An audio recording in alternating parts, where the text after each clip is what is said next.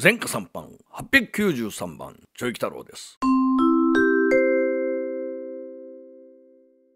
今日のお話はですね不思議な話こんなことがあるのかっていうお話なんですが、まあ、その、事務所が都心にあったんですけど、手狭っていうことと、まあ、駐車場もなかったりして、路駐したり、いろいろまあ迷惑をかけたり、手狭になったっていうことで、ちょっと郊外の広いところに変わろうと。なんか中古車センターみたいなのが潰れたとこがあったんで、そこを借りることになったわけですね。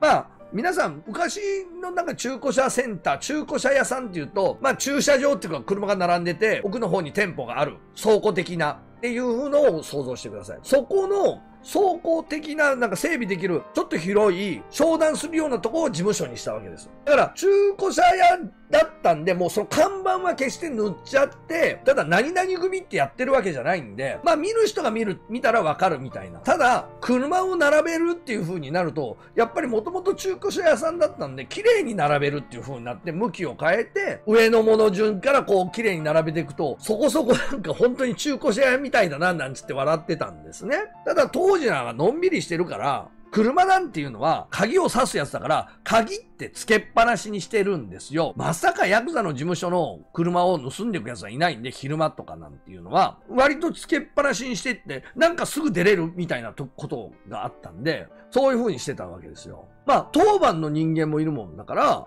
当番だと当番者2人ぐらいで当番しては泊まりですわね。それでも電気はつけっぱなしにしているんで、鍵はつけてるわけですよ。確か頭の当番だと思うんですよ。で、朝9時か10時。とにかく頭の車が置いたまんまでそこに行って、朝行ったら車が変なことになってるんですよ。頭のクラウン、クラウンがなくて、なんか、ホンダのセダンみたいなのが止まってるんですよ。見たことがない車が。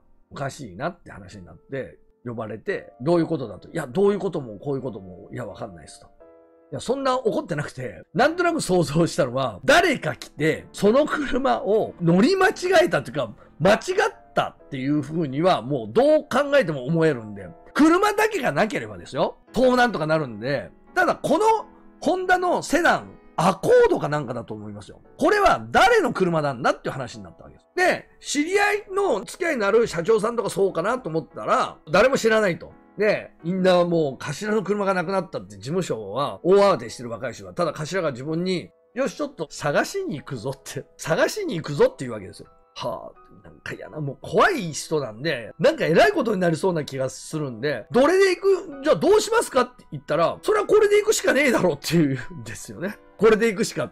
え？って自分言ったよ。運転してけって。いや、これでも知らない人のですよって。いいんですか？って。いいに決まっとるだろ、そんなもんって。これしかねえんだからって。頭は、見当がついてて、もう分かってるからいいんだと思って、うわそこまで言うんだから、そういう時って逆らえないで分かりましたって運転して、ちょっと近所を走れっていうわけですよ。で、ぐるぐる回ってて、ある家の前に行ったら、頭の車がなんか変な風に止まって、半分この溝に乗り上げたような状態で 止まっているんですね。あった。いや、あったって言うから、知ってたんだなって思うんですよ。で、おい、ここ止めていくぞ、っつって。でもその後ろに止めて、ピンポン、ピンポンって言うと、人乗り良さそうなおばさんが、はいって出て、頭が、この車ってお宅のですかって言う。ああ、そうです。うちの息子の屋です。あ、そうですか。わかりました。おい、お前説明しろって。あれ？と思って。いや、実は、私どもの会社の前にこの車が止まっていたんです。で、今乗ってきました。ホンダのアコードが止まってました。このクラウンは、えー、私の上司の車なんです。わかりますか？はい。で？っていうわけですよ。いや、ですから、はあ、でもそんなわけはなく、では、じゃあもうはっきり言います。多分、その息子さんでしょうね。その方が間違えて乗ってられたと思うんです。じゃあ、その証拠に、この鍵は私ともにあります。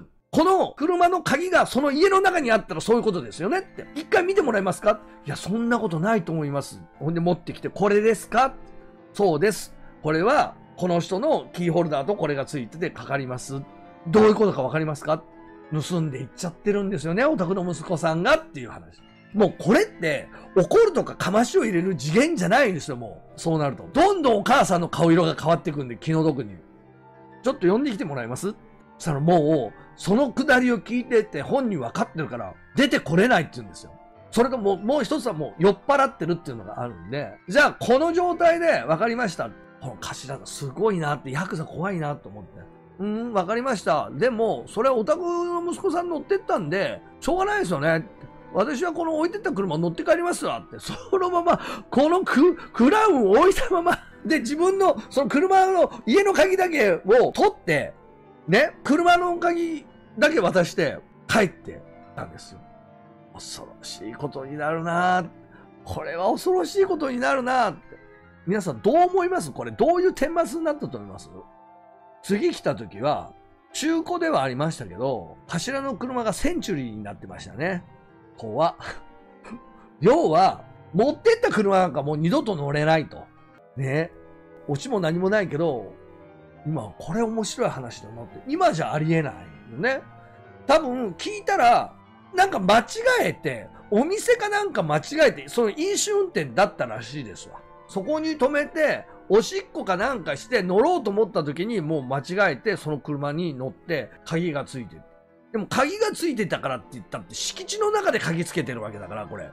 行動とか一般の駐車場とかお店じゃないもんですから、私どもの、まあ事務所の敷地なんで、つけててもおかしくはないんで、そこに入ってきちゃった人が悪いわけで、もうこれはもう勝ち目がないんでございますね。そんなことを思い出してしまいましたね。はい、ありがとうございます。